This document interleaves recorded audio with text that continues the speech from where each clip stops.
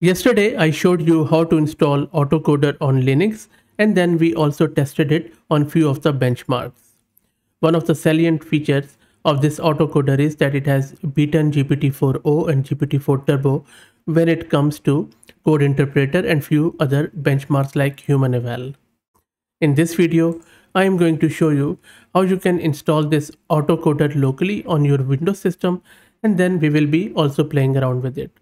This autocoder model is fully backed by a thorough research paper which you can find it from their model card and I will drop the link in video's description. This new model is designed for code generation tasks and it is based on DeepSeek coder model as a base. Its test accuracy on the human eval based datasets surpasses that of GPT-4 Turbo um, and that was released in April 2024 and also it has already passed a GPT-4o as you can see on your screen. If I just make it a bit bigger like this, you will see that the first one is autocoder 33 billion and this is another thing. So autocoder comes in two flavors 33 billion and 6.7 billion. 33 billion one has surpassed GPT-4 and GPT-4o, Claude 3 Opus, CodeQwen, DeepSeek Coder, which is the base model of itself, and also Open Code Interpreter and few others by a wide margin. With GPT-4s, yes, the margin is very close, but still the fact that autocoder has surpassed them means a lot. Now, the blue ones are the open source models, whereas the sort of these orange ones are the closed source models. So it has beaten all of them um, in same go. So that is amazing. Now, if you don't know what human eval test is, it is a framework for evaluating the ability of AI models to generate natural language that is both coherent and humane. So it primarily assess the performance of a model on tasks like on coherence, respect, empathy, factuality, and inclusivity. So and I have seen that coherence of this model in the full version which we saw yesterday is quite good. Okay, so that's it. Let's go to my local system on Windows and we will get it installed. This is my Windows system where I'm running one GPU card of 16 GB of VRAM and my memory is 32 GB. The tool which I'm going to use for this purpose is called as LM Studio. If you don't know what LM Studio is, please search my channel. I already have done heaps of videos around it. Launch LM Studio, go to its homepage and then simply type autocoder and you will see that few people have done the quantized of it. On the right hand side, these are the quantized level. I have downloaded the biggest and the most um, performant quant in Q8 as you can see here. This is my file which is just over 7 gig. Let's click on these three dots and let's load the model from the middle. Let's wait for it to load and you can keep an eye on the resource usage on the top left. Model is loaded. Now on the right hand side, let's see if we could get any preset. There you go. So deep seek coder is there. So I'm going to use its preset because as I said earlier, the base model for this is DeepSeek Coder. Let's make it bit bigger. Let's try to offload all the layers to GPU and then let's reload the model. That should be done any second and then we will play with this model. Let's ask it a first question. So I'm going to ask it mainly the coding questions because of course it's an autocoder. First one I'm asking it is or let me ask it to summarize this that will be more sensible so i'm going to ask it to summarize this factorial or python function there you go. So you see very very succinct very concise very perfect. Let's try out another one. In this one i i'm asking sorry for I just pressed enter. So i'm asking it provide a brief summary of the purpose of this javascript. And here you go. It has correctly identified that it is an palindrome. And it checks whether or not a provided string is a palindrome which means it reads the same backward as forward. So it has not only told us the purpose of this function but also it has told us what exactly palindrome is let's try to see how well it understands c++ so you see in this one i'm asking it write a concise summary of this C++ snippet and then I have given it a snippet. Absolutely spot on. So it's a binary search and you see that it has very, very um, compactly, concisely has print out the purpose of this code. Let's try to see how the code generation is. So I'm just going to give it a text prompt that generate a Python function that calculates the area of a rectangle given its length and width. There you go. This is a Python function. Amazing. Okay, now let me ask it, um, can you download the data set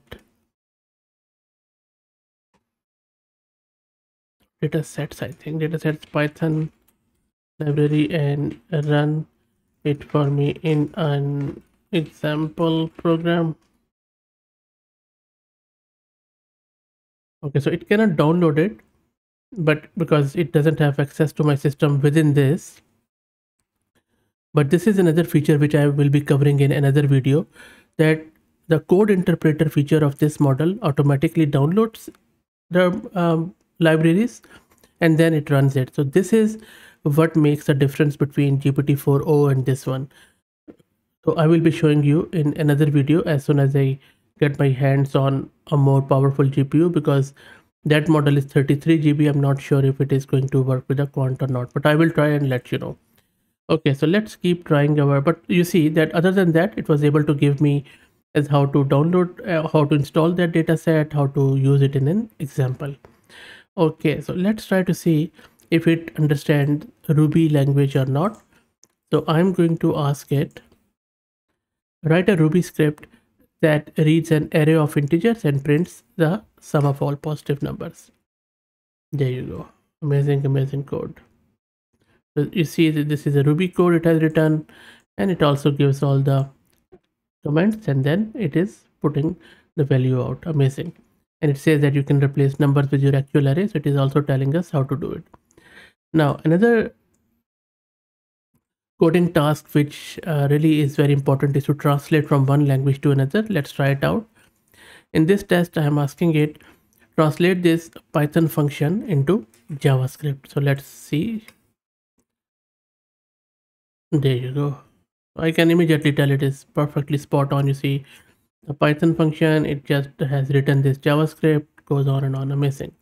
And then this is a beautiful thing that it also tells us what it did that this JavaScript function performs the same operation as your Python function. It checks whether a given number is prime or not. Amazing. Let's try out another one. So now I'm going other way around to convert Java into Python. Yep, that is true. Amazing. Okay, that is done. Let's see if it can repair the code or not. I'm going to give it a Python function and I'm asking it identify and fix the issue in this Python function. Exactly. So it says the above code is missing one crucial part. The i loop goes up to n minus 1 because of the range, not n itself. So it needs to be adjusted. How good is that? Just imagine you can just point this model to your GitHub repo, Bitbucket repo, or whatever uh, source code repository or version control system you are using. And then you can fix your code, you can translate your code, you can uh, get your code explained by this model. Amazing. Okay, let's see if it can fix the JavaScript code. So in this one, I'm asking it find and correct the error in this JavaScript code. Let me run it. Yeah, that's true. Uh, sorry, because I have been using this example, so I know that if it is right or not, but you can see that it has very, very perfectly identified the issue in it and it has also given us a true one. Let's try if it can fix the Ruby. So in this one, I'm asking it identify and repair the bug in this Ruby method. It's an anagram.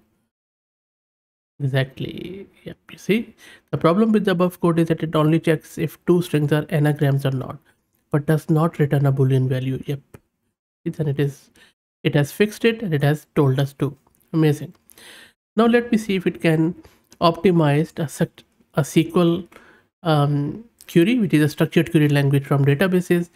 So if you see in this one, I'm asking it, Given the provided suboptimal SQL query intended to retrieve customer details and their most recent orders, optimize this query to improve efficiency, performance, and readability. So let's see if it can uh, do it or not. Oh my god, that's absolutely awesome. Yeah.